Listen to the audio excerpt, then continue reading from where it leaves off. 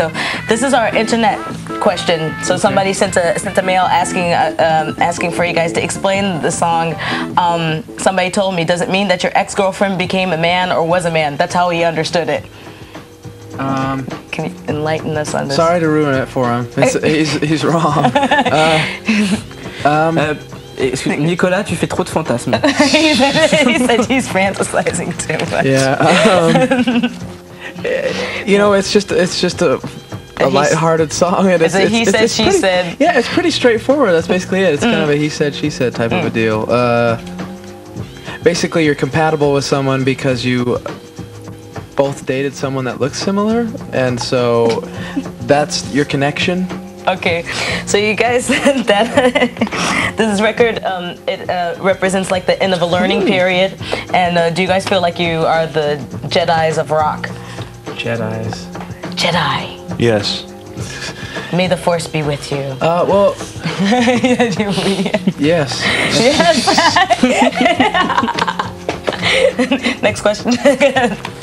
Euh, comment est-ce que vous voyez, euh, comment est-ce que euh, vous euh, voyez le, le retour du, du rock un peu rétro, arty et tout comme ça? How do you guys, uh, what do you guys think about like the the kind of revival of like kind of retro arty rock?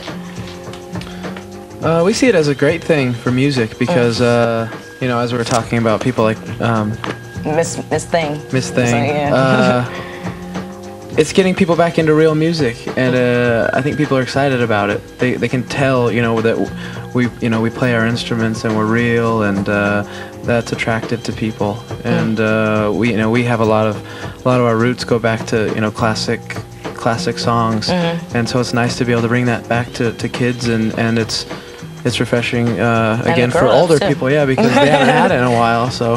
Yeah.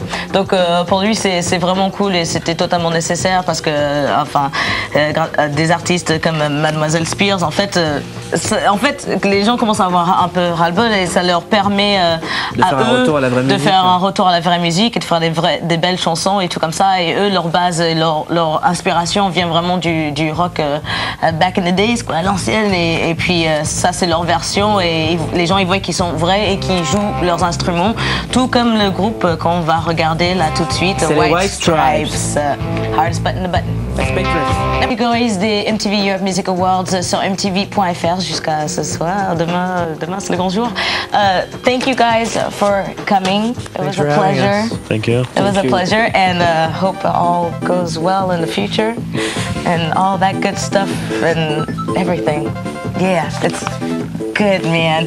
Donc, euh, The Killers, c'est leur premier album, c'est Hot Fuss. Um, si vous voulez plus d'infos, c'est thekillersmusic.com. Et ils sont de retour en février 2005 en concert en France. Donc euh, voilà, aimez la bonne musique, écoutez la bonne musique. I'm saying, listen to good music, love good music, get good music. Mais faites pas que ça, hein, les péchos des meufs aussi. Ouais. Prenez soin de vous. Peace.